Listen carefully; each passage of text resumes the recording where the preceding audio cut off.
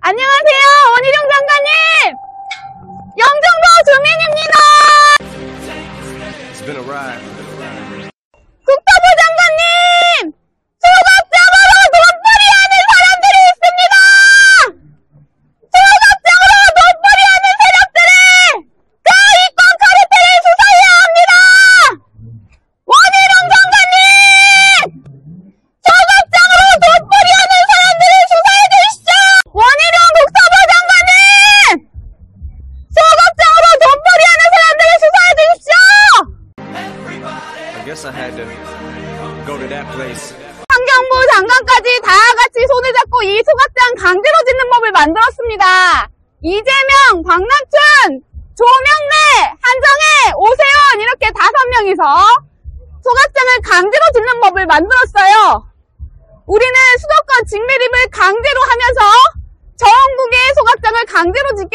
생겼습니다.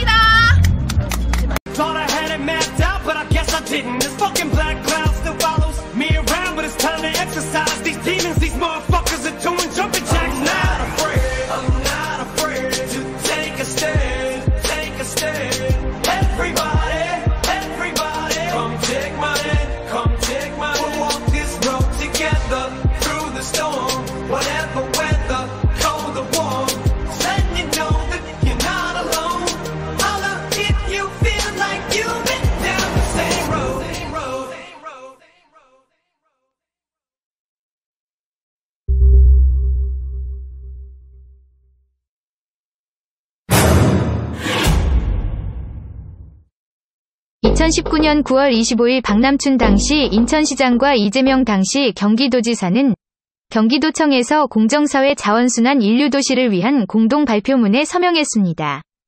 태우지 않은 쓰레기는 매립하지 못하도록 하는 것이 핵심입니다. 게다가 발생지 처리 원칙이라는 것을 내세워 지방자치단체가 각 군하군 단위로 소각장을 짓는 명분을 구축했습니다. 박남춘과 이재명은 이렇게 소각장 강제법의 신호탄을 쏘아올리며 환경부도 주체가 되어 사업 추진에 적극 나서도록 요구했습니다. 2020년 5월 17일 조명래 당시 환경부 장관은 박남춘과 이재명이 요구한 지방자치단체 구군별 자체소각장 건설 사업에 시동을 겁니다. 발생 지처리 원칙을 공식화하며 각 지방자치단체가 쓰레기를 자체 처리하는 것을 독려함과 동시에 각 지역의 매립지와 소각장 확보를 위한 대책 마련이 시급함을 강조해 군하군 단위의 자체 소각장 건설 명분을 굳혔습니다. 게다가 민간업체의 폐기물 처리를 문제 삼으며 공공이 주도하는 방식으로 전환해 기존의 민간 소각장은 놔두고 공공 소각장을 추가로 건설하도록 만들었습니다. 사실 지금 현재 대한민국은 민간 소각장의 쓰레기 용량을 할당하면 굳이 엄청난 국민 세금을 투입해 추가 소각장을 지을 필요가 없습니다. 오히려 용량이 남습니다. 누군가 소각장을 추가로 건설해야 이익이 아니라면 지을 필요가 없는 것입니다.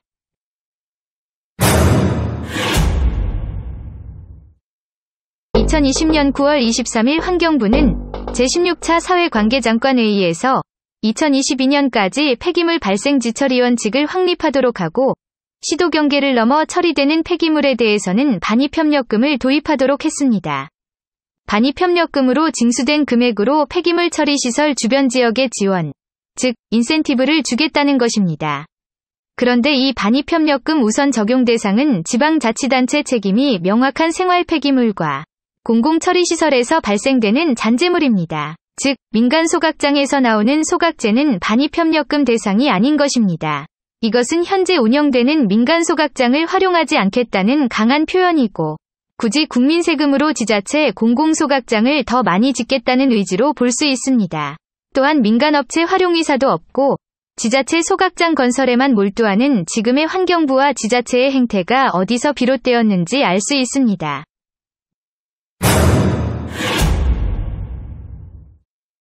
2021년 1월 환경부 장관이 조명래에서 한정혜로 바뀌었습니다. 그로부터 세 달 뒤인 2021년 4월 19일 박남춘 당시 인천시장은 새로운 사자협의체 구성을 제안하며 사자협의체 회담을 촉구했습니다. 그러면서 대체 매립지 제공 모시, 소각과 재활용 극대화, 직매립 금지를 언급해 소각장 건설 명분을 상기시켰습니다. 더 나아가 중소규모의 친환경 지하 매립을 거론해 구군별 단위의 자체 소각장 건설 의지를 내비쳤습니다. 그리고 환경정의 실현이라는 선동적인 표현으로 발생지처리 원칙을 근본적 과제라 지칭했습니다. 발생지처리 원칙에 입각해 자체 소각장을 각 구나 군마다 하나씩 짓는 것이 지역 갈등을 해소하고 환경을 지키는 것처럼 선동하는데 사실 소각장이 진짜 친환경이 아니란 것은 최근 미국 듀크대 논문에서도 잘 나와 있습니다. 당장 청주 북이면 60여 명 집단 안발병에서도 알 수 있는 심각한 유해시설이 소각장입니다. 그렇기에 발생지 처리 원칙을 내세운 소각장 강제 건설은 국민 생명에 대한 테러입니다. 박남춘 인천시장이 사자회담을 촉구한 지 한 달이 지난 2021년 5월 25일 한정혜 환경부 장관은 경기도청 도지사 집무실에서 이재명 경기도지사와 단독 면담을 가졌습니다. 굵직한 노조 출신인 한정혜와 노조의 지지 없이는 정치 기반이 흔들리는 노조의 바지 사장 이재명이 만나서 무슨 이야기를 했을까요? 한정혜와 이재명 단독 면담으로부터 한 달 뒤인 2021년 6월 22일 박남춘이 촉구한 지 두 달 만에 사자협의체 회동이 이뤄졌습니다. 이재명 경기도지사, 박남춘 인천시장, 오세훈 서울시장, 한정혜 환경부 장관, 이렇게 사자가 모여 비공개로 무슨 이야기를 나눴는지 정말 궁금합니다. 물론 그들이 무슨 이야기를 했는지는 사자회동 후 2주도 채 지나지 않은 시점에서 확인할 수 있습니다.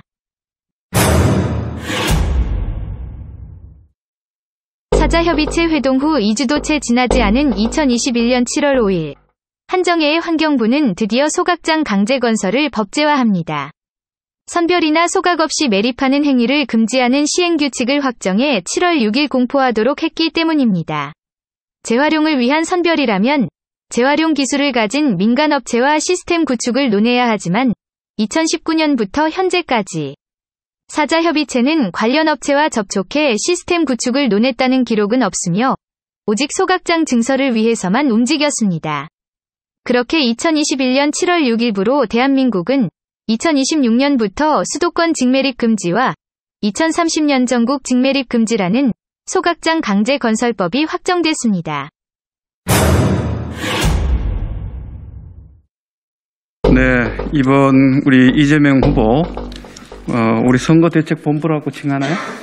선거대책위원회 아, 위원회 우리 탄소중립 특별위원회 공동위원장을 어, 맡게 된 조명래입니다. 현재는 각 지자체장들이 구군별이 아닌 권역별로 소각장을 밀어붙이고 있지만 추후에는 구마다 하나씩 놓아야 된다는 여론도 함께 만들어지고 있습니다. 그런 여론 형성은 불공정한 소각장 건설이 강행되는 지역의 시민단체에서 누군가가 자꾸 언급하며 만들어지고 있는 것이 특징입니다. 우리만 당하니 부당하다고 각각 구마다 하나씩 짓자거나 광역 소각장은 반대하고 자체 소각장을 받아들이겠다고 하면서 말입니다. 우리는 알아야 합니다. 시민의 반대에 부딪혀 자체 소각장으로 건설되는 것이 아니라 소각장 강제법의 시작 단계부터 자체 소각장을 지으려고 계획했다는 것을. 그리고 현재까지 쓰레기를 태우는 것은 무조건 오염물질을 배출하고 있으며 우리나라 지자체가 가장 많이 채택하는 스토커 방식 소각장은 발암물질 배출을 최고로 많이 하는 매우 유해한 방식이라는 것을 말입니다.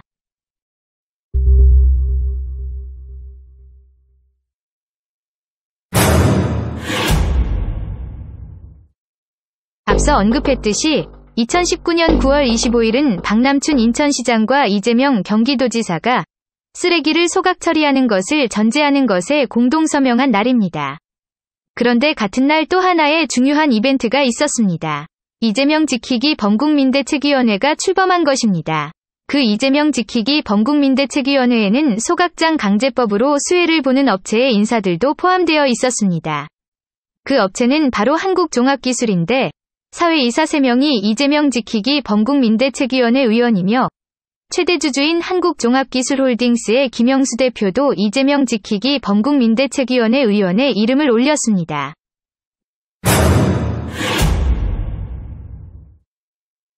이재명과 박남춘이 쓰레기 소각 처리를 전제하는 공동서명을 한 날에 이재명 지키기 범국민 대책위원회가 출범했고 한국종합기술 주요 인사가 의원에 포함되어 있었는데 그로부터 3개월 뒤인 2019년 12월 24일 박남춘의 인천시는 소각장 후보지를 인천 전역으로 확대하며 소각장 필요 용량 산정과 후보지 타당성 조사 등 소각장 입지 선정에 필요한 용역사로 한국종합기술을 선정했습니다.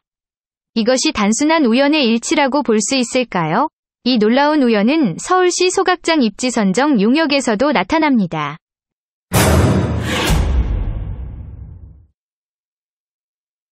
(2021년 3월 11일) 오세훈의 서울시는 소각장 입지 선정 타당성 용역사로 한국종합기술을 대표업체로 선정했습니다. 그것도 경쟁이 필요 없는 수혜 계약으로 말입니다. 그런데 이미 750톤의 소각장이 있는 마포구가 소각장 후보지로 선정되고 1000톤 추가라는 말도 안 되는 일이 벌어지면서 2022년 9월 11일 마포구 감노웅래 의원은 용역사 한국종합기술 수혜계약을 문제 삼습니다. 그러자 노웅래는 개딸들의 공격을 받았고 두 달 만인 2022년 11월 11일 개딸들의 사퇴 압박에 못 이겨 더불어민주당 당 싱크탱크 민주연구원 원장직에서 사퇴했습니다. 그 사이 2022년 10월 25일 뉴스타파에서는 동해종합기술이 유력 후보지 근처에 사옥을 짓고 있는 것을 크게 보도하며 한국종합기술이 아닌 동해종합기술을 메인처럼 부각했습니다. 그러나 동해종합기술은 도급업체일 뿐 대표업체는 한국종합기술입니다.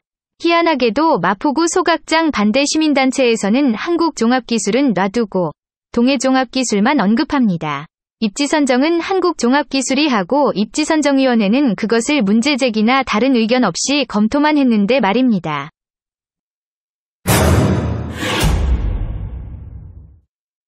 이쯤 되면 여러분도 소각장 강제 건설에는 이재명이라는 공통점이 관찰되는 것을 알 것입니다. 그런데 이재명을 지지하는 주요 인사가 있는 이 한국종합기술은 서산시에서 소각장의 부정적인 성남동 통장들에게 일당 명목으로 현금을 살포한 비리 업체입니다. 소각장 건설을 위한 입지 선정 과정에서 부정적이던 주민들이 돈을 받고 입장이 바뀔 수 있다면 이것은 뇌물입니다. 음료수 박스에 현금을 전달하는 것은 고전적인 뇌물 공여 방법이지 통상적인 일당 지급 방법은 아닙니다. 최근 더불어민주당 송영길 전 의원이 소각장 인허가 절차에서 국토부 로비를 청탁받은 비리로 압수수색 영장이 발부된 것과 같은 사례라고 봐야 합니다.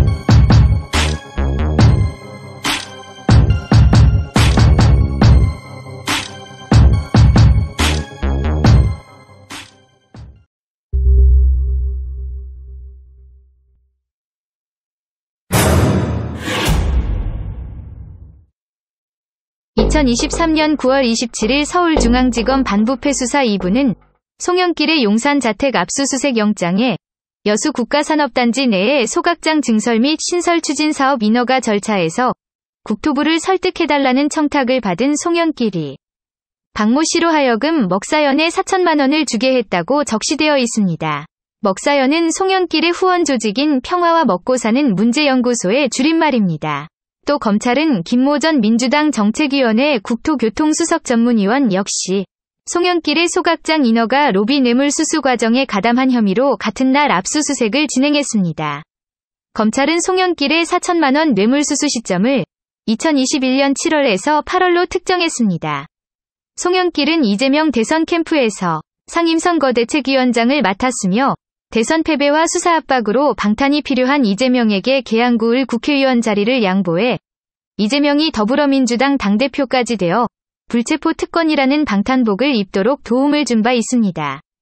송영길과 같은 날 소각장 로비로 압색받은 김모 씨도 이재명 대통령 선대위 부동산 공급 티프 부단장이었습니다.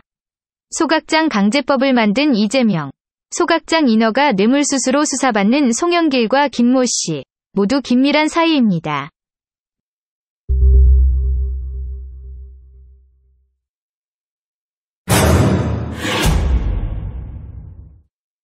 공교롭게도 2023년 12월 23일 송영길 이외에도 이재명과 아주 긴밀한 사이로 알려진 임종성이 폐기물 처리 시설 설치 촉진 및 주변 지역 지원 등에 관한 법률 일부 개정 법률안을 대표 발의했습니다. 임종성은 대표적인 이재명계로 이재명을 성남시장과 경기도지사 재직 시절부터 지원했던 7인의 소속입니다.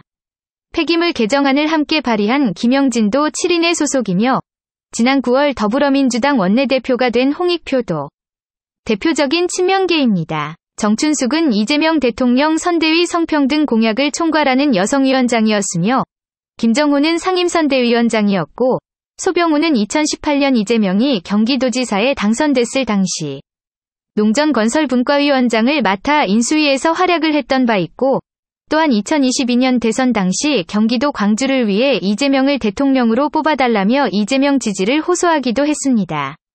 송재호, 서영석, 김영호, 윤우덕 또한 친 이재명계 위원들로 폐기물 처리 시설 설치 촉진 및 주변 지역 지원 등에 관한 법률 개정안을 발의한 의원들은 친 이재명계 사람들입니다.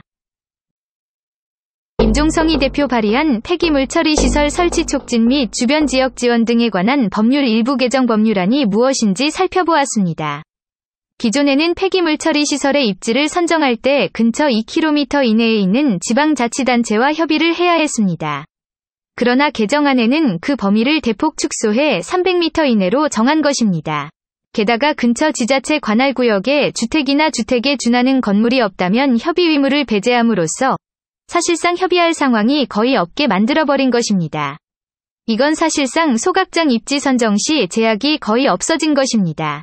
이 개정안이 공포됐던 2021년 4월 13일은 환경부 장관이 한경애로 바뀌고 3개월이 지난 시점이었으며 이 개정안이 공포되고 6일 뒤인 2021년 4월 19일 박남춘 인천시장은 소각장 강제법을 위한 사자협의체 회동을 촉구했습니다. 그리고 한 달이 지난 2021년 5월 25일 한정에는 이재명과 단독 면담을 했고 2021년 6월 22일 사자 회동 후 2주도 채 지나지 않은 2021년 7월 5일 소각장을 강제로 건설할 수밖에 없는 직매립 금지를 법제화했습니다. 정말 놀랍게도 직전인 2021년 4월 13일 국회에서 소각장 입지 선정 시 걸림돌이 무장해제되는 법이 공포되자마자 박남춘이 사자회담을 촉구하고 세 달도 지나지 않아 소각장 강제 건설법이 완성된 것입니다. 그리고 핵심은 국회에서 소각장 입지 선정을 용이하게 하는 개정안을 발의한 국회의원들도 환경부와 인천, 서울, 경기도의 수도권 지자체장들도 이재명 당사자를 포함해서 모두 이재명과 밀접한 관계라는 사실입니다. 송영길이 소각장 대표로부터 뇌물을 받고 청탁받은 것은 국토교통부 소각장 인허가 로비와 입법부인 국회에 로비를 하는 것이었습니다.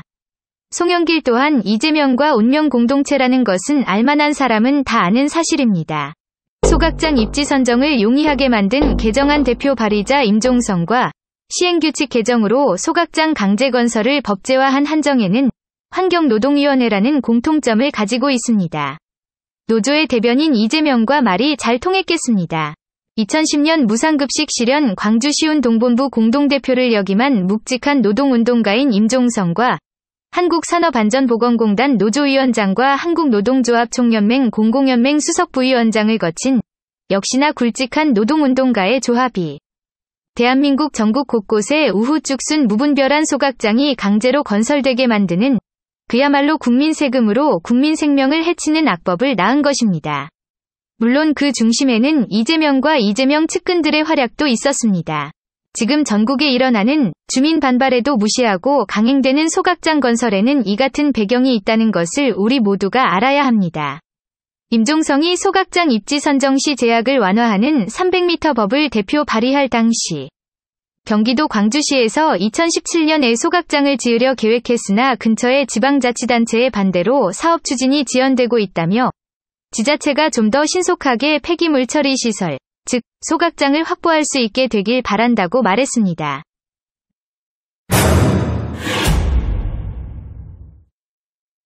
경기도 광주시 을 지역구 국회의원 임종성이 언급한 2017년부터 추진한 광주시 폐기물 처리 시설 지원건을 살펴보면 왜 임종성이 2020년 12월 23일에 입지 선정 300m 법을 대표 발의했는지 알 수 있습니다. 경기도 광주시 수양리 423번지 소각장 부지가 근처에 이천시 신둔면과 1.7km 떨어진 경계에 있어서 수양리 주민들뿐만 아니라 이천시 신둔면 주민들이 다 같이 거세게 저항했기 때문입니다. 주민들에게 허위 내용으로 속여서 서명을 받았다는 주민들 말이 사실이라면 법을 고쳐서라도 소각장 건설을 관철시키겠다는 임종성의 초법적 사고방식이 전혀 놀랍지 않습니다. 광주시는 주민들의 반발에도 2023년 2월 5일에 소각장 사업비 총 990억 중에 50%에 해당하는 국비 473억 원을 확보했습니다만 주민들은 2023년 7월 28일 긴급회의에서도 소각장 입지 결정고 시 집행정지 소송을 취하하지 않기로 최종 결정했습니다. 이날 긴급회의는 김경희 이천시장의 요청에 의해 열렸다고 합니다. 경기도 광주시에서 또 하나 눈에 띄는 점이 있습니다. 수양리 주민들의 주장하는 시청 측이 주민들에게 허위 내용으로 서명을 받았다는 내용을 보면 살고 있는 사람들이 아무도 모른 상태에서 몇 명이 서명 후 제출했다는 것. 이장과 지도자 두 명만 소각장 유치를 찬성한다는 내용입니다. 이것은 서산시 성남동 통장들에게 한국종합기술이 현금을 살포한 것을 떠올리게 만듭니다. 성남동 통장들 중 일부는 그 현금을 받았고 나머지 통장들은 화를 내며 반대해 한국종합기술의 현금 살포 사실이 공개되었기 때문입니다. 이처럼 이익에 눈이 멀어 자신의 양심과 주민들의 건강을 팔아먹는 사례가 서산시 성남동에서만 있었을까요?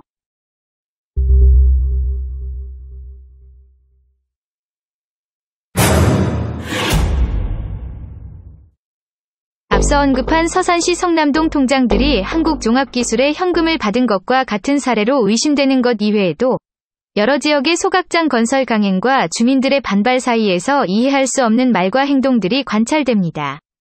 소각장을 반대 활동을 하면서 사람들을 시민단체 오픈톡과 카페에 모아놓고 나중에는 소각장이 필요하다는 논리를 펼치는 활동가들이 주거니 받거니 하면서 여론을 형성하면서 광역 소각장은 안 되지만 자체 소각장은 필요하다. 우리 쓰레기는 우리가 태우자는 논리를 펼치는 것입니다.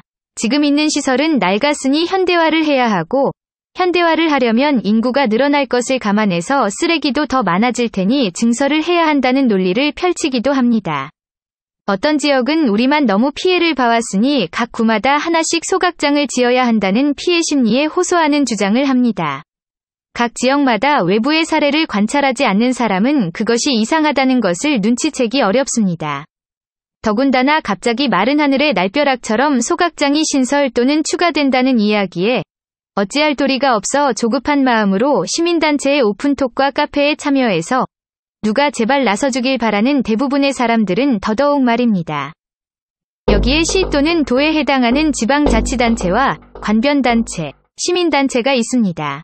지금까지 여러 지역에서 관찰된 매우 비슷한 패턴을 말씀드리겠습니다. 먼저 지자체에서 인센티브를 제시하며 소각장 건설을 추진합니다. 친환경이라는 말과 쓰레기가 갈 곳이 없어서 어딘가에서는 태워야 한다는 이야기들도 귀에 딱지가 않도록 반복합니다. 자, 아무리 그래도 소각장은 안 된다며 시민단체가 반발합니다. 이때 일반 주민들은 맘카페나 현수막을 보고 그제서야 소각장 건설이 추진된다는 것을 인지합니다. 그리고 관변단체에서도 같이 반발합니다. 그러면 지자체에서 간담회를 하자고 제안합니다. 그런데 여기 참여할 수 있는 일반 주민들은 많지 않습니다. 생계를 위해 직장이나 가게 등 경제활동을 해야 하니 말입니다. 그러면 간담회 같은 곳은 누가 참여할까요? 바로 생계를 내팽개치고 오로지 시민단체 활동을 하는 사람들이나 관변단체 사람들입니다. 시간적 여유가 있는 일반 주민들은 소각장 같은 문제를 접하지 못했거나 여러 이유로 대부분 참여하지 않는 경향이 있습니다. 그런 상황에서 시민단체 활동으로만 생계가 가능한 사람들이 간담회에 꾸준히 참석하는 것입니다. 그런데 간담회는 반대하는 주민들의 의견을 수용하기 위한 자리가 아닙니다. 사람들에게 소각장을 짓는 대신 스포츠 체육 레저 공원 시설, 문화 공연 시설을 지어준다고 제안해서 주민들이 받아들이게 하자는 내용들이 오갑니다. 그리고 시민단체 대표로 앉은 사람은 의뢰하는 원론적인 이야기 수준의 발언을 합니다. 또는 강하게 반발하는 주민들이 참여했을지라도 그냥 그렇게 주민들과 의견을 조율하는 과정이 있었다고 뉴스에 빠르게 보도됩니다. 즉, 간담회는 다음 단계를 진행하기 위한 요식행위로 주민을 설득하는 과정이 있었다는 명분 쌓기가 돼버립니다. 이 과정에서 주민들은 반대하는 오픈톡 같은 곳에서 의지가 꺾이는 자포자기한 발언들하고도 마주하게 됩니다. 그러면서 적극적으로 참여하지 못하는 죄책감과 쓰레기를 만들어내는 장본인들이라는 죄책감이 들게 하는 여론. 소각장은 우리 지역이 아니더라도 꼭 필요하다는 여론에 사로잡힙니다. 또한 점점 길어지는 싸움에 지치고 무력감에 관심이 멀어지기도 합니다. 그래도 소각장 반대 활동은 이어지고 지자체는 선진지 견학, 즉 현대화된 인체의 영향이 미미한 친환경 소각장이라며 견학을 가자고 합니다. 어떤 지역은 참여한다는 주민들은 없었는데 신분이 불분명한 노인들이 참여해 뒷모습만 사진에 보도되어 의혹이 일었고 어떤 지역은 견학간 소각장이 점검으로 운영이 중단된 상태여서 비난을 받기도 했습니다. 비난을 떠나 지자체는 이런 절차를 통해 주민 설득 과정을 거쳤다는 기록을 남깁니다. 강경한 주민들이 지자체의 입지 선정에 불공정함을 성토하고 입지 선정 회의록과 모든 과정의 정보를 공개 요구를 하면 지자체는 환경부 유권 해석은 문제가 없다면서 특유의 관료주의적 행태로 일관합니다. 자, 이런 과정에서 앞장서서 반대를 한다는 시민단체와 관변단체에서 집회를 합니다. 분명 소각장 반대로 알고 참여한 사람들을 앞에 두고서 성명문 후반부에 주민들을 상대로 소각장의 필요성과 모범 운영 사례 시찰을 통해 주민의 이해와 협의를 구할 절호의 기회로 삼으라고 말합니다. 이쯤 되면 반대가 아니라 찬성으로 사람들을 이끄는 것입니다. 그러나 이런 수상한 상황이 벌어져도 일반 주민들은 행동으로 나설 리더십과 조직력이 없기 때문에 바로잡기 힘듭니다. 결국 소각장 입지 결정고시로 건설이 확정이 되면 법적인 절차에 의존합니다. 정말 최악은 입지 선정 과정에 대한 정보 공개 청구도 여러 번 기각되었으면서 또 환경부의 유권 해석에 문제가 없다는 답변을 받았으면서도 감사원에 같은 문제를 문제 제기하며 감사 청구를 한다는 것입니다. 그러면 그 감사 청구는 기각되기에 이릅니다. 그리고 일사부재리 원칙에 위거해 같은 카테고리로 다시 감사 청구를 하기 어렵게 됩니다. 행정소송을 해도 법적 문제 제기가 입지 선정으로 초점이 맞춰져 있다면 결과를 장담하지 못하게 됩니다. 왜냐하면 이미 임종성이 대표 발의해서 개정된 폐촉법에서 입지 선정 시 인접한 지자체 협의 대상을 300m로 축소한 데다가 300m 이내에 주택이나 주택에 준하는 건물이 없다면 인접한 지자체와 협의할 의무에서 배제된다고 정해져 있기 때문입니다. 소각장 반대 시민단체 간부들과 대표들은 이 폐촉법 개정안을 몰라서 그러는 걸까요? 이런 패턴은 우연이라 보기 어렵게 비슷하게 흘러갑니다. 다른 변수가 없다면 말입니다. 그 시민단체의 간부들의 이력도 닮아 있습니다. 키워드로는 정의당, 더불어민주당, 이재명, 노조, 환경단체 정도로 정리할 수 있습니다. 그리고 한국종합기술이라는 업체도 빼놓을 수 없습니다.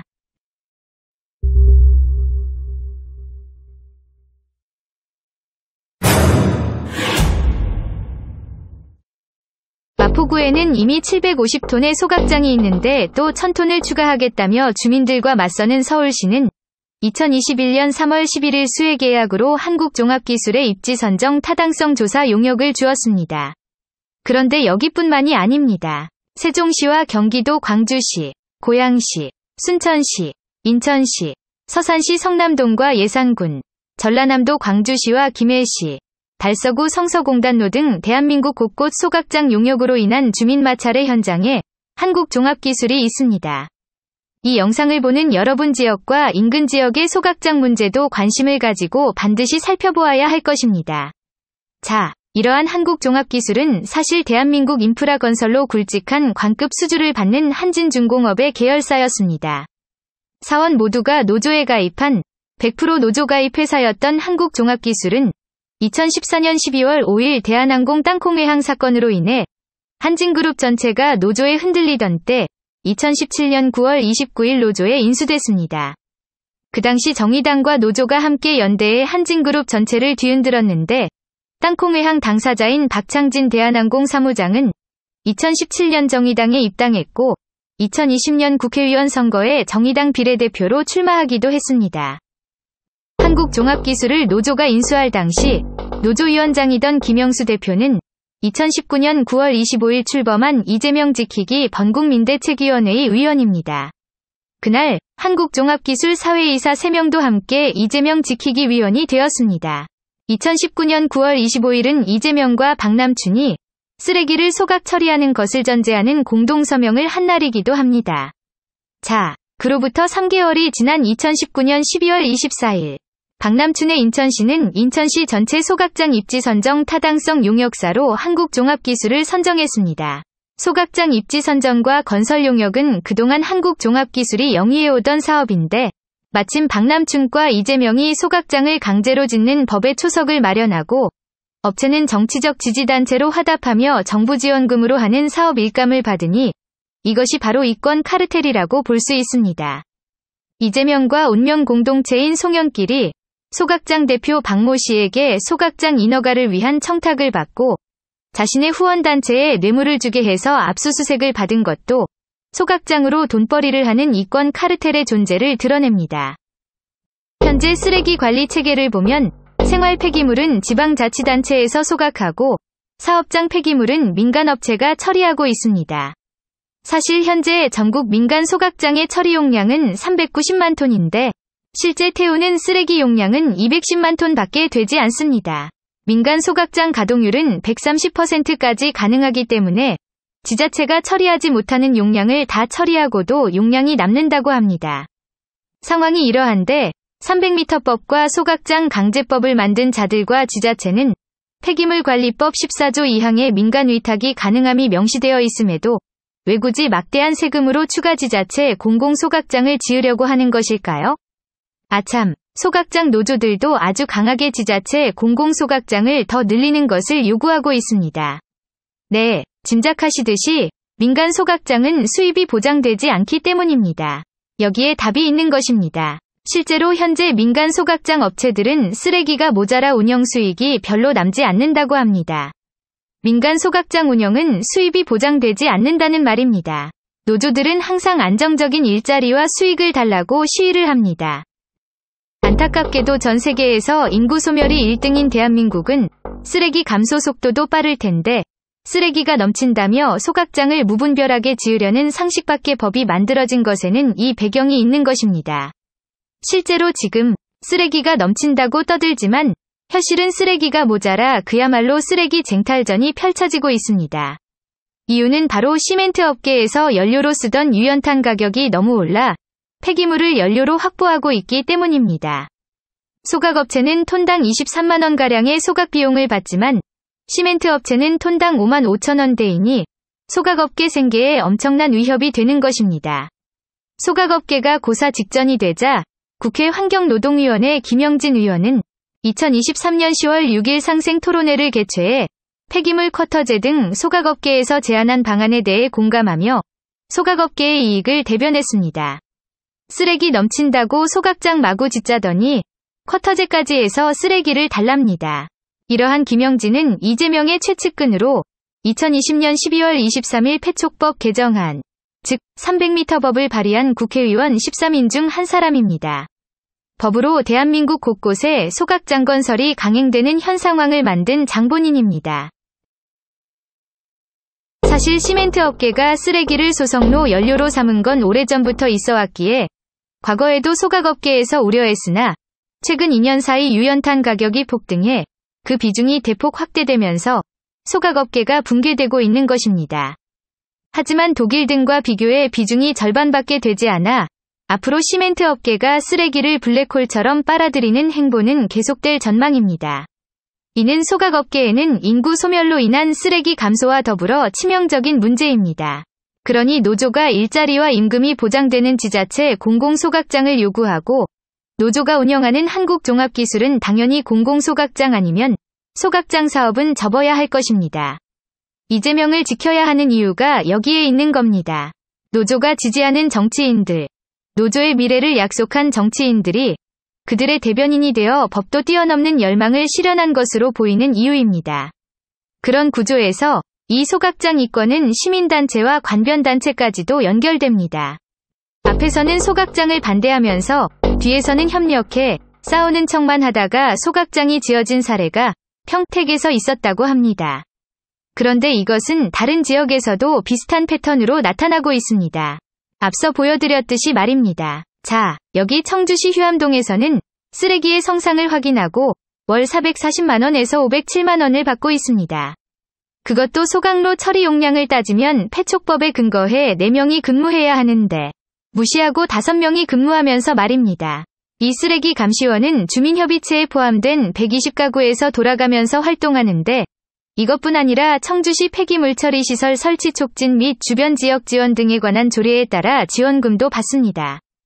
종량제 봉투 전체 판매액의 10%를 떼서 마련한 돈입니다. 2022년에 이 금액은 총 21억 원이나 됐는데 마을발전기금 등 운영비 5%를 제하면 각 가구당 1670만 원씩 돌아간다고 합니다. 상식적으로 납득이 어려웠던 시민단체가 소각장 건설을 앞에서는 반대하면서 뒤에서는 협력하는 행태가 돈으로 설명이 되는 것입니다. 반대 활동을 한 단체에 포함되어야만 완장차고 월 500만원 꿀보직과 각종 지원금을 챙길 수 있는 것입니다. 이 정도라면 서산시 성남동의 일부 통장들이 한국종합기술에 건네받은 현금 천만원 정도는 빙산의 일각이라고 볼 수 있습니다. 그런데 이 돈들은 모두 국민들이 낸 세금에서 비롯된 것입니다.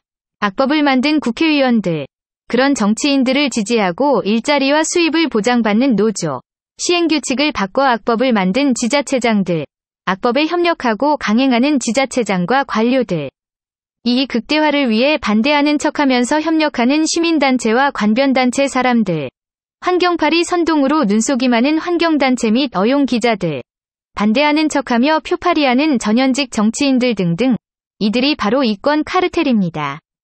게다가 더 경악할 만한 것은 우리가 낸 세금으로 눈먼 돈 먹기 하는 이 이권 카르텔이 우리의 생명도 갉아먹는 소각장을 대한민국 구석구석에 마구잡이로 건설하고 있다는 것입니다. 그러면서 공공의료병원 설립도 추진합니다. 병 주고 약 주는 셈이 되겠습니다. 이것은 대한민국 국민 모두가 알아야 하는 사실이고 현실입니다.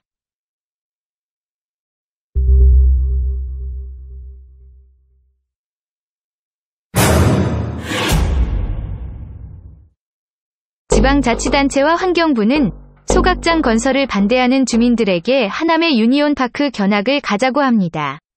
친환경 소각장 선진지 견학 운운하면서 마치 정해진 코스처럼 말입니다. 그러나 하남 유니온 파크는 모범이나 성공 사례라고 볼 수 없습니다. 소각 용량 고작 48톤을 짓는데 들어간 비용이 3,030억 원에 달하는 모델하우스에 불과합니다. 그 비용 부담도 하남시와 LH가 아직까지 소송전을 벌이는 실정입니다. 2022년 11월 10일 기사에서 보이듯이 하남시는 LH와 벌인 1345억 원 금액의 소송전에서 대부분의 패소했고 고스란히 시민들 혈세로 물어져야 할 판입니다. 인센티브 난발의 실패 사례로 봐야겠습니다. 하남시는 현재 세입이 480억 원이나 감소해 재정이 좋지 않은 상황이라 이번에 3회 추경으로 710억 원을 늘린 1조 1218억 원 규모의 예산을 편성했습니다. 시민 공론화로 갈등관리 최우수 사례로 홍보하는 의정부 시도. 재정적 어려움으로 2회 추경에 소각장 용역비를 반영해 시 재정 부담이 더 커졌습니다. 연이어 이틀 만에 나온 기사에는 의정부시는 현재 공무원들 월급도 주기 힘든 심각한 재정 상황입니다. 자, 그렇다면 한번 비교해 볼까요? 하남시에서 고작 48톤짜리 용량의 소각장을 짓는데 3,030억 원이 들어갔습니다. 그런데 마포구는 1000톤이고 세종시는 400톤, 경기도 광주시는 600톤에 고양시는 630톤입니다. 이게 인센티브 난발하는 지자체 말대로 진짜 현대화 시설로 지어지겠습니까? 현실성이 없는 공수표이거나 국민 혈세 쥐어짜는 재정 파탄을 초래하는 것 아니겠습니까? 갈등관리 우수 사례라고 자화자찬하며 환경부 장관에게 달려가 인센티브를 요청한 의정부시를 다시 볼까요? 입으로만 현대화 공수표를 난발했을 뿐 실제 소각 방식은 후진 기술인 스토커 방식입니다. 스토커 방식은 1급 발암물질인 다이옥신 배출 최다 방식이며 카드뮴 같은 중금속 등 유해물질이 심각하다고 알려져 있습니다. 2018년 기준 우리나라 전국 하루 200톤 용량 이상 소각장 38개소 중 33개소는 모두 문제의 스토커 방식이고 2020년 기준 하루 100톤 이상 소각시설을 운영 중인 지자체 47개소 중 83%인 39개소가 스토커 방식입니다. 이처럼 우리나라 소각장의 대부분은 발암물질을 최다 배출하는 스토커 방식으로 지어졌습니다. 앞서 언급한 의정부뿐만 아니라 최근 소각장 건설이 결정된 목포와 울산시도 스토커 방식을 채택했습니다. 도대체 왜 지자체들은 친환경 현대화 시설로 하남 소각장을 견학시켜가면서 주민들을 눈속임하고 스토커 방식 소각장을 건설하는 것일까요? 1급 발암물질이 최고로 많이 배출되는 방식이라는 것을 알면서도 말입니다. 사실 하남 유니온 파크도 스토커 방식입니다. 포장은 그럴듯하지만 내용물은 다를 바 없다는 것입니다. 문제는 돈, 즉, 신기술이 적용되는 소각장을 건설하는 비용과 유지하는 비용 둘 다 비싸기 때문입니다. 의정부처럼 친환경 현대화 소각장이라며 추진해놓고 스토커 방식으로 결정되는 사례는 다른 곳에서도 일어났습니다. 낡은 기술인 스토커 방식뿐 아니라 첨단 기술들도 문제가 없는 것은 아니지만 덜 유해한 완전 연소가 된다는 1200에서 2000도의 첨단 기술을 도입하면 건설과 유지에 있어서 더 많은 비용 지출을 감당해야 합니다. 비용 때문에 국민 건강에 심각한 해가 되는 스토커 방식을 고수하면서 현대화 친환경이라고 주민들 눈속임까지 하는 것에 대해 지자체뿐 아니라 환경부도 중범죄로 인식하고 책임지도록 중앙정부가 움직여야 합니다.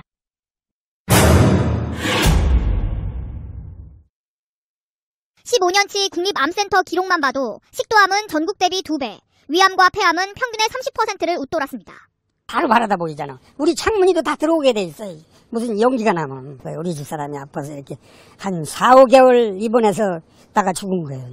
전국의 사업장 폐기물 18%를 처리하며 마을에 몰려있는 소각장들 탓이라는 청주시 북이면 60명 집단 암발병과 사망은 남의 일이 아닙니다. 소각장을 강제로 짓는 법을 만들고 수수방관하며 소각장 책임 규명을 흐리는 환경부를 제외한 상태에서 전문가 팀을 구성해서 전국 소각장 인근 주민들 건강 실태를 파악하면 더 많은 피해 사례가 발견될 것이 자명합니다. 최근인 2023년 9월 11일 미국 듀크대에서 발표된 논문에 따르면 쓰레기 소각장을 폐쇄한 뒤 세워진 공원에서 시간이 지나도 토양의 납수치가 높아 납중독의 온상이 될 수 있다고 합니다. 납노출은 특히 자라나는 어린이들의 장기적인 건강 문제를 유발할 수 있으며 뇌와 신경계 손상부터 성장과 발달이 지연되고 학습장애도 초래할 수 있다고 합니다. 지금 대한민국의 지자체 공공소각장을 강제 추진하면서 공원과 놀이터 같은 주민편의 시설을 인센티브로 내세우는 것이 얼마나 어리석은 대국민 테러인지 잘 보여주는 논문입니다. 그 심각성을 지자체와 환경부가 무시하고 소각장 강제 건설을 이대로 추진하는 것은 총칼 폭탄만 안 들었을 뿐 국민에 대한 테러리스트들이라고 해도 과언이 아닙니다. 의정부를 비롯해 목포와 울산도 최근 스토커 방식의 소각장을 짓겠다고 했습니다. 모두 눈 가리고 아웅하면서 재정적 어려움이 뻔한데도 현대화라고 주민들을 기만하면서까지 해야 할까요? 당장도 민간 분배와 시멘트 업계 대체 연료로 쓰레기 처리 능력은 있습니다. 환경부와 지자체가 채택하지 않는 것일 뿐. 굳이 이렇게 지자체 공공소각장을 지으려는 이유가 무엇인지 반드시 추궁해야 합니다. 소각장 강제법과 300m법 때문에 대한민국 곳곳에 더 많이 지어지면 대기와 토양 모두 황폐해질 것입니다. 이것은 중국산 태양광으로 국토를 뒤덮어 오염시킨 것보다 훨씬 더 심각한 일입니다. 이대로 방관하면 앞으로 발생지 처리 원칙과 자체 소각장이라는 명분으로 더 많이 지어질 겁니다. 여러분, 이것은 대국민 테러입니다. 중앙정부는 특별 감사를 통해 뇌물로 로비해서 법을 고치고 인허가를 받아온 업계와 함께 환경부와 지자체 담당자 모두를 감사하고 위법 사실을 적발해 엄중하게 처벌해야 합니다. 환경부를 제외한 전문가 팀을 구성해야 하는 이유는 환경부가 소각장 강제법을 만든 주체인 것뿐만 아니라 2021년 10월 국정감사에서도 확연히 드러났습니다. 2020년도에 전국 1092개의 다이옥신 배출시설 중에 점검한 곳은 단 140곳뿐이었습니다. 13%에 못 미치는 140곳을 점검한 것도 모자라 위반 업체에 대해 제대로 된 처벌 또한 이루어지지 않고 있습니다. 소각시설끼리 조합을 만들어 서로 점검 인증을 해주고 형식만 갖춘 봐주기 인증 보고서를 제출하고 있는 상황인데 환경부는 이를 수수방관하고 있습니다. 점검 때가 아니면 평상시에는 마구잡이 유해물질 배출을 해대는 소각시설의 행태에 주민들이 감사를 요구해도 환경부가 묵살하며 방관하는 상태입니다. 소각장 강제법 만들 때 환경부 장관 한정혜는 굵직한 노동운동가 출신이었고 경기도지사 이재명은 노조의 지지를 받는 정치인이었다는 점은 소각시설조합과 대한민국의 거대한 정치 개입 이익 집단인 노조들의 연대가 어떤 관계인지 파악할 필요성을 시사합니다.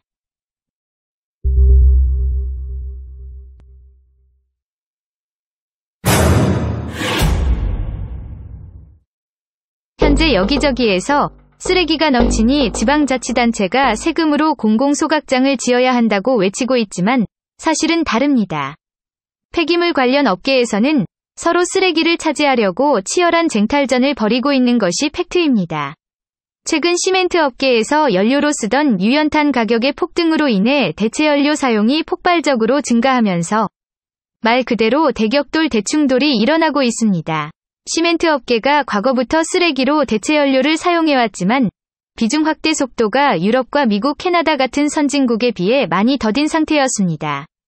그러나 소각업계에선 일찌감치 그 위기를 최소 5년에서 10년 전부터 감지하고 꾸준히 대비책을 찾았던 것으로 보입니다. 소각업계는 기술 개발로 덜 유해하고 친환경적이며 경제적인 방법을 찾는 것이 필요했지만 그렇지 못한 것으로 보입니다. 최근 1년의 사건들로 미루어 소각업계 일부는 뇌물 로비와 정부 의존도 확대라는 잘못된 길을 선택한 것이 관찰되기 때문입니다. 심지어 며칠 전에는 쿼터제를 요구하기도 했습니다. 2023년 4월 출범한 소각업계의 생존대책위원회 일명 생대위는 지난 10월 6일 쓰레기 배분을 보장해달라며 쓰레기 쿼터제를 요구했습니다. 폐촉법 개정안으로 소각장 입지 선정 시 협의 대상 범위를 2km 내에서 300m 이내로 대폭 축소한 더불어민주당 김영진 의원도 쿼터제에 공감하며 사실상 소각업계와 의견을 함께했습니다. 김영진이 임종성과 함께 발의한 폐촉법 개정안에는 300m 이내에 주택이나 주택에 준하는 건물이 없다면 협의 의무 자체가 없어 대한민국 곳곳에 소각장을 지을 수 있게 한 법이라고 볼 수 있습니다. 그런데 시멘트 업계에서 쓰레기를 낮은 단가로 모두 싹쓸이해 가면 소각장을 지을 명분이 없어지게 되니 혹시라도 폐촉법 개정이 소각장 건설 추진 목적이었다면 헛수고가 된 것입니다. 소각장을 지어야 이익이 되는 사람들에게는 이러다가 지방자치단체 공공자체 소각장 추진도 물거품이 될 것이란 조바심에 쓰레기 쿼터제라는 무리수도 둘 수 있겠습니다. 이렇게 쓰레기를 두고 쟁탈전을 벌이는 업계는 크게 소각업계와 열병압발전소의 고형연료 SRF 업계, 화학적 재활용 기술의 석유화학 업계와 쓰레기를 블랙홀처럼 빨아들이고 있는 시멘트 업계, 이렇게 네 개로 나뉩니다. 소각업계와 고형연료 업계는 환경오염과 유해성 문제로 그동안 주민 반발과 사업 중단 등 갈등이 끊이지 않았습니다. 그런데 이젠 첨단 재활용 순환 기술들에게 쓰레기 확보를 놓고 경쟁에서 밀리는 상황까지 직면했습니다. 소각업계와 고형연료 업계는 환경적 유해성 문제뿐 아니라 쓰레기를 처리하는 비용도 시멘트 업계보다 4배나 높아 시장에서 경쟁력이 없어 생존을 위해 대책위까지 구성해야 하는 실정인 것입니다. 소각업계 일부는 국토부와 입법부 로비를 해서라도 정부 공공소각장을 법제화해서 세금에 편승하려는 것으로 관찰되고 일부는 쓰레기 일정량을 배분받을 수 있게 쿼터제를 요구하기에 이르렀습니다. 할 수 있다면 중국산 쓰레기를 수입이라도 할 기세입니다. 소각장 강제법을 만든 친중 사대주의자인 이재명과 정치인들, 노조의 연대를 보면 충분히 가능해 보입니다. 지금까지 사람들은 소각장 추가 건설이 꼭 필요하다는 거짓말에 세뇌당해 왔습니다. 그로 인해 2026년 수도권 직매립 금지로 발등에 불이 떨어졌다는 말에 소각장은 우리 지역만 아니면 된다는 인비몰이에 휩쓸렸습니다. 지자체의 공공소각장을 누가 받을 것이냐만 집중하게 말입니다. 하지만 사실은 다릅니다. 쓰레기 소각장이 추가로 필요하다는 것은 새빨간 거짓말입니다. 앞서 보여드렸던 대로 가파른 인구 소멸과 민간 소각업계 수익성 악화로 문 닫을 운명에 처한 민간 소각장들이 늘어나고 있는 것이 현실입니다. 2018년에 이미 시멘트 업계의 쓰레기 대체연료 사용 비중이 급격히 증가하는 추세였기에 그로 인한 소각업계 수익 악화는 피할 수 없는 문제였습니다. 유럽과 미국의 선진국들은 시멘트 업계 대체연료 사용이 앞서 증가했기에 소각업계는 일찌감치 우려하고 있던 일이라는 겁니다. 그래서 소각업계와 시멘트 업계는 일찌감치 치열한 어용 언론전을 펼치며 경쟁해왔습니다. 현재 쓰레기 소각장이 모자란다는 거짓말은 이렇듯 민간 소각업계의 수익성이 보장되지 않으니 정부 지원금, 즉 국민 혈세로 공공 소각장을 지어놓고 소각 종사자들, 노조원들 먹여 살리도록 선동하는 것입니다. 자, 실제 현실은 일부 환경파리 이권 카르텔 선동가들이 하는 말과 다르다는 것을 깨달았습니다. 소각장 추가 건설은 막대한 재정적 낭비일 뿐 절대로 해서는 안 되는 선택이라는 것을 말입니다. 지자체 공공 소각장 건설을 안 하고 충분히 쓰레기를 처리할 수 있는데 환경부와 지자체가 채택하지 않았을 뿐입니다. 그러므로 올바른 해결을 하려면 먼저 발생지 처리 원칙과 반입협력금 제도를 모두 철폐해야 합니다. 그래야만 민간 소각업계든 시멘트 업계든 더 많은 쓰레기를 가져가 처리할 수 있습니다. 동시에 소각장 건설을 용이하게 하는 300m법과 2026년 수도권, 2030년 전국 직매립 금지도 철폐해야 합니다. 당장 급하게 직매립을 금지해 소각장 건설을 강제하는 것은 그야말로 불필요한 혈세 낭비에 국민 생명권을 침해하는 대국민 테러이기 때문입니다. 그 악법은 명백히 소각장 이권 카르텔만 돈 벌고 권력 잡는 수단입니다. 지금 대한민국은 공공사업에서 공공의 이익은 오간데 없이 뒷전이 된 지 오래입니다. 공공이란 말이 언제부터 국민 혈세로 불필요한 사업을 벌여 이권 카르텔의 눈먼 돈 해먹기가 됐는지 모르겠습니다.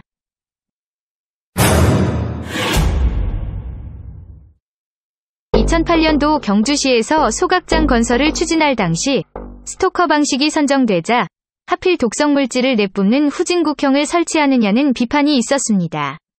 그런데 15년이 지난 2023년까지도 대한민국 폐기물 처리시설 업계에서는 아직도 여전히 대부분 스토커 방식의 소각장을 선정하고 있습니다. 이렇게 소각업계는 대체로 20, 30년 전 낡은 소각 방식을 고수하면서도 경제성이 없습니다. 수익성이 낮으니 업계 자체적인 선진 기술 전환이 불가능에 가깝습니다. 마찬가지로 정부 지원금으로 강제 추진하는 공공소각장도 비용을 이유로 그 낡고 오래된 스토커 방식으로 채택하고 있습니다. 겉포장만 주민 편의시설을 덧붙여 건설 사업만 부풀려 혈세를 낭비하게 만들고 1급 발암물질인 다이옥신 배출에 대해서는 어쩔 수 없다는 식입니다. 이쯤 되면 소각장 확보가 주요 목적이 아니라 하남시처럼 주민 편의시설까지 세트로 사업을 벌여 돈벌이 하려는 것으로 밖에 안 보입니다. 배보다 배꼽이 커지니 LH와 소송전을 치르며 대부분 패소한 하남 소각장도 사업비를 과다하게 책정한 것이 원인이니 이 사업비가 어디에 쓰였는지 반드시 조사해야 합니다. 시민단체 주민지원금, 시민단체 일자리 보장, 노조 일자리 보장, 소각장 용역사 배불리기, 플러스 건설 비리까지 함께 말입니다.